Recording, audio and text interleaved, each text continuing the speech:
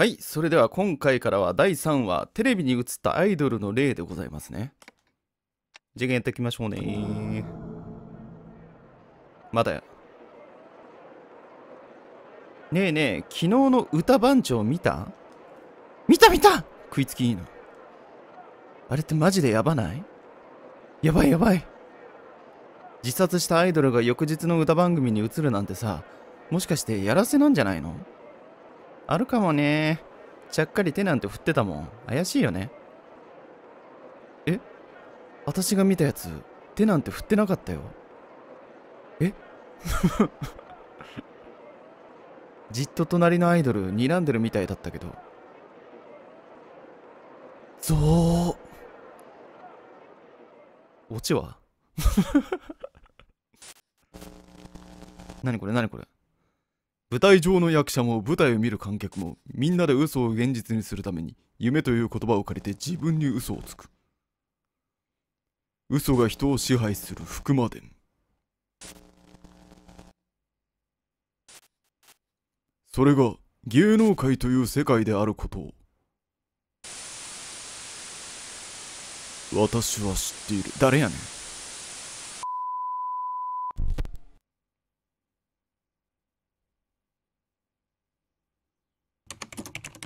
第3話テレビに映ったアイドルの例パーン。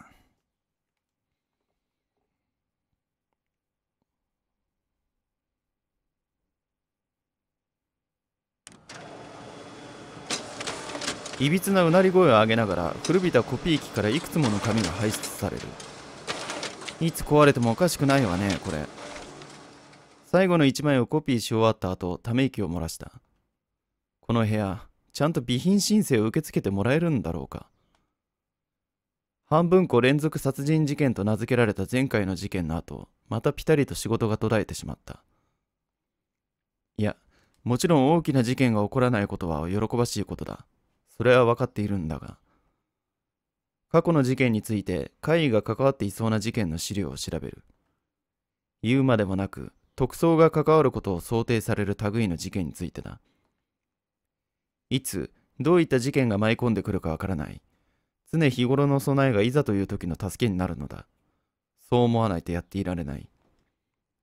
事件の資料をコピーしスクラップとしてまとめる作業を進める。もはやルーチンワークと化している。何かしていないと気が狂ってしまいそうなほど。ああすっげえ暇。暇で暇で仕方がないのだ。私は机の上で突っ伏しているセナ君に視線を向ける。そんなこと言ったってしょうがないじゃないか。本部長から連絡がないんだから。でもよこんなのひどすぎるだろ。何でもいいから事件が起きねえかなおい。ちょっと不謹慎なことは言わないで。お前だって暇だから毎日毎日事件のスクラップ作ってんだろ？セナ君はのっそり顔を上げた。右頬には袖口のボタンの跡がくっきりついている。刑事たるもの常に事件に関わっているのが本来の姿ってもんよ。それなのに俺らと吉やこうして暇を持て余してる。それはそう。そうそう猟奇的かつ怪異な事件が起こっても困るのだが自らの活躍の場がないことを平和の証として喜べるほど私も彼も年を重ねていない。現役の刑事として次々と事件を解決したい。それがどうしようもない本音だ。人員が足りなければ他の部署から応援要請でも来るかと思いきや残念なことに特捜にはそういった人材交流すらないのだ。今日も残りの時間はどうやって過ごせばいいんだ？大きなあくびを一つ。セナ君は隣の席に山積みになった書類の中から何やら雑誌を取り出すとパラパラとまくっている。あその雑誌ムー？またムーや。月刊ムーだ。何か面白いことでも書いてあった？面白いっていうかあ？どうしたの？問いかけには答えずにセナ君はしばらく無言で雑誌を読んでいる何か気になる記事でもあったのだろうか？まあいい。こちらはこちらでやるべきことをやるだけだ。スクラップを作る仕事に戻る。ああ、スクラップブックもそろそろいっぱいか。また新しいものを調達してこないと。いやすげえな、これ。おい、さき、お前も読んでみろよ。は？いいから、ほら、58ページからだぞ。半ば強引にセナ君から月刊ムーを押し付けられる。一体何なのだ？私は首をかしげながら雑誌のページをまくった。58ページ、58ページ。あった。えっと、死者復活の儀式に成功した猟奇殺人犯って。紛れもなく半分個連続殺人事件のことだろうが、またしても月刊ムーにすっぱ抜かれている。警察関係者？それも呆れを通り越して、いっそ爽やかなほどインチキ臭い見出しとともにだ。何よこれ。一般市民がこんなものを信じるとでも思っているのかしら？半分個連続殺人事件は、あまりの残虐さと犯人が未成年だったこともあり、徹底した観光令が敷かれた。警察とマスコミ上層部の間では協定が結ばれ、すべては事故として処理されたのだ。そしてその事件のことはメディアでも隠匿されたはずだった。それがどうや？ねちょっと、これ16ページも特集組んでるんだけど。だろだろ？やるな、月刊ムー。単なる出任せの記事ならまだいい。しかし、記事を読み進めてみると、かなり詳しいところまで掴んでいるのが分かった。これだけ事細かに知ってるなんてすげえな。その記事のライター、名前なんつったっけ？あ 間宮優香くんや。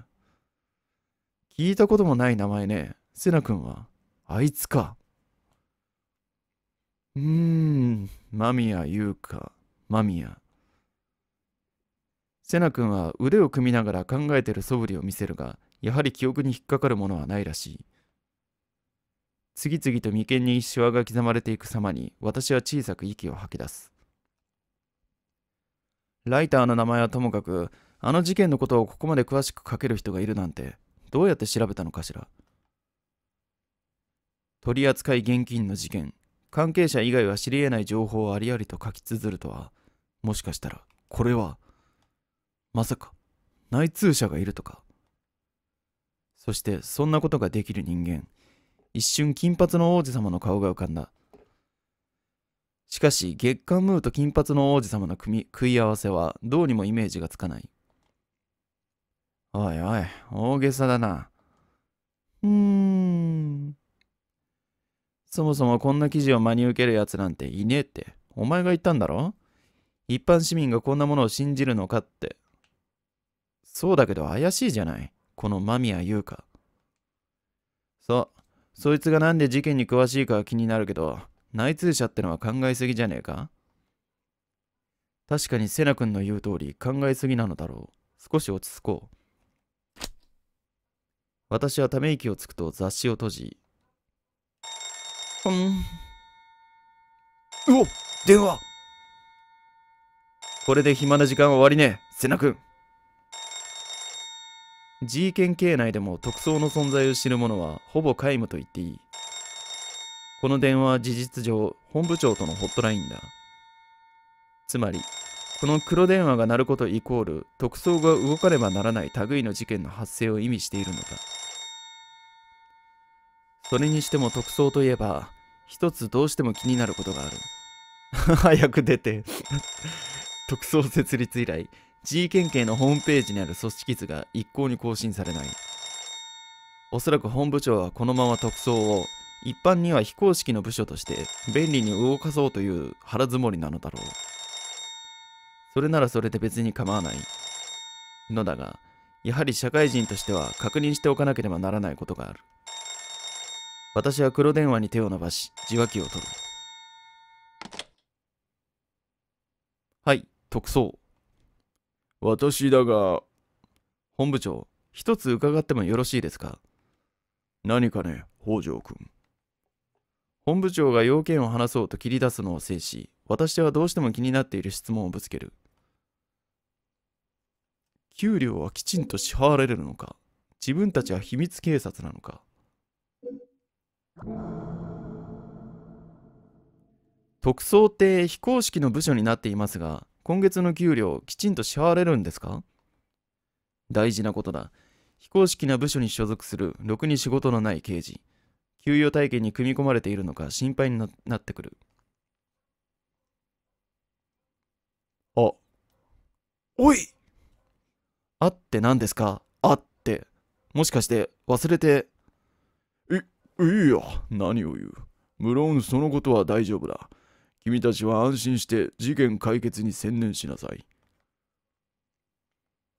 絶対忘れてた。絶対何も考えてなかったこの人。文句の一つでも言いたくなるのを何とか抑えると話を切り替える。ここだ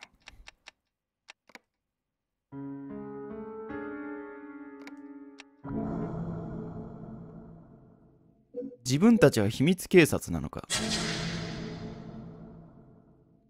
本部長、私たちは秘密警察なのでしょうか？その名の通り、名称もしくは活動内容を知られていない警察組織のことだ。通常の犯罪を取り締まるのではなく、例えばテロリストや警察官への捜査を盗聴や密告などの手段を用いて行う。で、どうして私が特捜のことを秘密警察ではないかという疑問を抱いたのかというと、まず私たちが担当する案件がまさしく通常の犯罪ではないこと。怪異事件を担当する警察部署など他にない。もう一つは名称が公開されてないこと。これはホームページの件からも明らかだ。普通に考えれば一般人に対してこの部署は怪異事件を担当します。などと発表はできないだろう。だから名前を公開していないのだと考えることはできる。しかし、ここまで執拗に外部から隠されると、きな臭い予感がしてくる。例えば、独裁者的な誰かが裏にいて、いざという時に私たちを手引きしようとしている。独裁政権下では秘密警察というのが、というものが性的や都合の悪い人物を排除するために動いていたという事実もある。別に特捜がそうだという確証があるわけでもない。いやや都市伝説臭い考え方かもしれないが、もしやということもあるだろう。そんなところまで本部長に質問する気はないし、しても答えてはもらえないだろうが、本部長の意向については聞いておく必要があるだろうふん、特捜が秘密警察。着眼点は面白いが、別に特捜は一切存在を秘匿にしているわけでもないだろう。特に、アイゼン君は普段から特捜特捜と連呼しているようだが。まあ、それはそう。ある意味そのおかげで特捜の名前と担当する事件の種類に関しては、警察関係者には知れ渡っていると言ってもいい。そしてそのことを咎められたこともない。別に秘密にしているわけではないと言われれば納得せざるを得ないようにも思える。ただ、それはあくまでもセナ君の行動による結果論であって、県警の側から特捜を積極的に公開しているわけではない。それはそうですが、一般に公開しないというのは隠し方が過剰ではありませんか？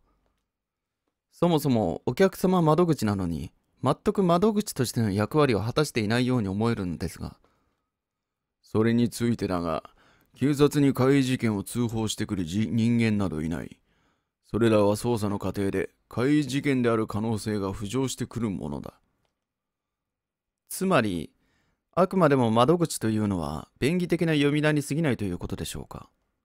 そう解釈してもらっても構わんよ。ふーん、納得していいのだろうか。私が心配しすぎているだけかもしれない。とはいえ、事件が控えていることを考えると、これ以上この件で時間を取るのは良くないだろう。そちらの件については承知しました。それで、事件ですか？ああ、実は2日前になるが、あの人気急上昇中のアイドル、加納由紀が死亡したのだ。事件の概要を語り出す本部長の口ぶりはいつになく熱が込められている。加納由紀ですか？聞いたことがないですね。それは君が勉強不足なだけだ。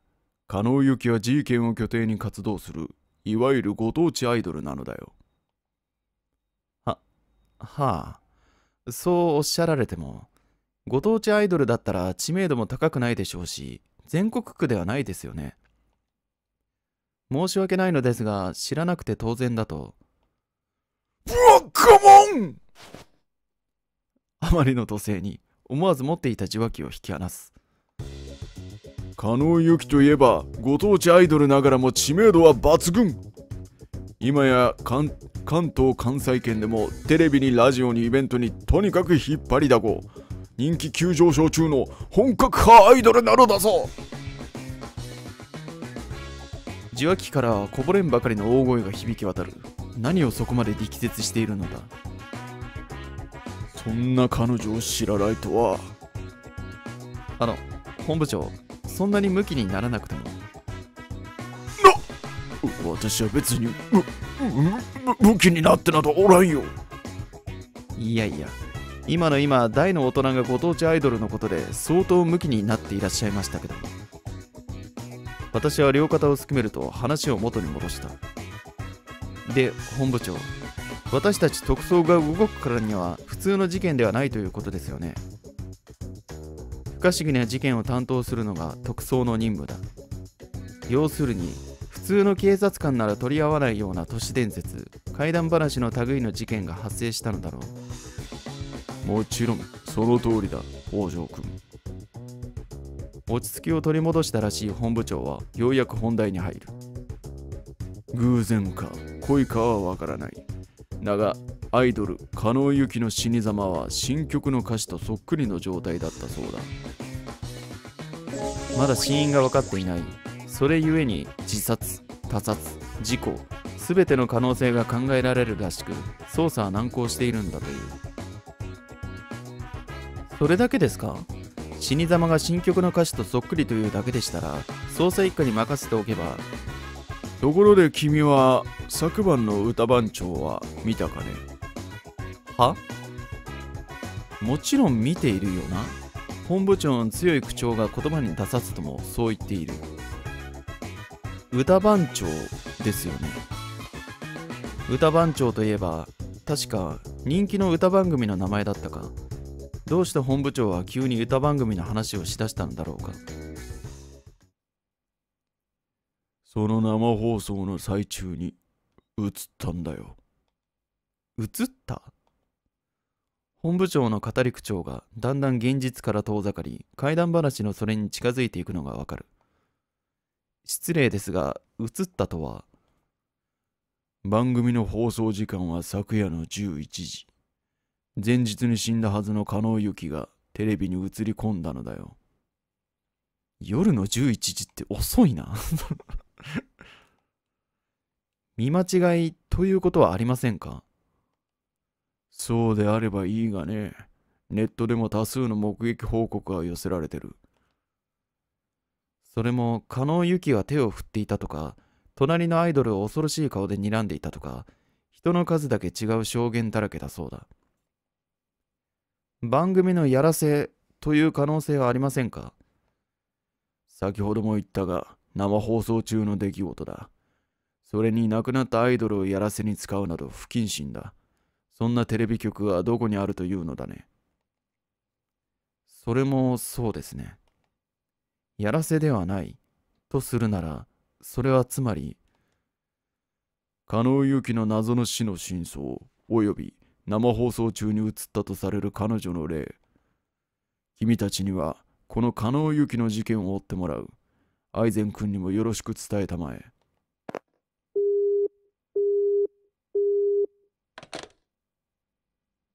おやっと終わったか。ようやく瀬名君は読んでいた雑誌から顔を上げた。今回はやけに長かったな電話。それにしても加納由紀か。瀬名君彼女のこと知ってるの？そりゃ G 県民としては当然だろう。何せ G, G 県を代表するアイドルだからな偉そうに胸を張った瀬名君を横目で見やるそれなら瀬名君が電話に出た方が話が盛り上がったのではないだろうかよし、やっと出番だ。仕事だ仕事。ガンガン行くぜ。新曲の歌詞になぞらえて死亡した人気急上昇中のアイドル、加納由紀の事件。そして生放送中に現れた彼女の霊らしきもの。今回は果たしてどのような顛末が待ち受けているんだろうか。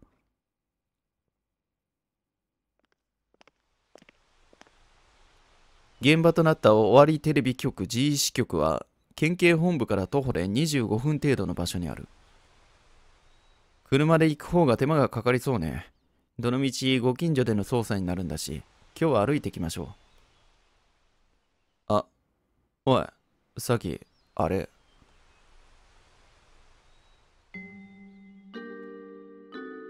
セナ君が顎で示した先には真っ赤なスポーツカーが駐車されている。金髪の王子様の車だ。ああ、また来ているのね。他に駐車されている車の色合いが地味なこともあり、彼の高級車は異様に目立っている。運転席には誰もいない。ご本人様は本部で何かをしている最中のようだ。一体、今日はどんな用があって県警本部にまでお出ましなのか。はあ、いいなあ。やっぱ、いつ見てもかっけえな。どうやらセナ君は持ち主の動向よりも車の方が気になるようだ。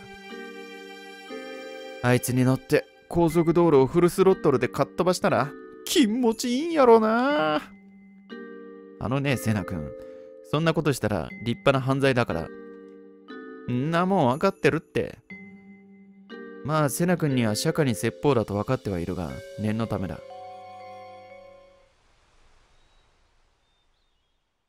あ、マジで羨ましいわ。そんなに言うなら買えばいいじゃない。私はわざとから替え半分で言ってみる。正規販売価格で2000万円以上もするような車だ。家建っちゃうよ。地方公務員の給料でホイホイ買えるような代物ではないのだ。しかし、セナ君は眉間にしわを寄せて懸命に悩んでいる。ああ、うーん、そうだな。どうしよっかな。おい、おい、待て待てい。これは早々に現実に引き戻さねば。なんとも悩ましい眼差しで高級車を見ているセナ君の視線を手で遮ってやる。ちょっと待って、セナ君。あなた本気、いえ、正気なの？そんなお金があるなら将来のために貯金しておきなさい。う、うーん、そうだよな。なんとか彼の意識をスポーツカーからそらすことに成功する。とにかく、今は車よりも事件よ。現場に向かいましょう。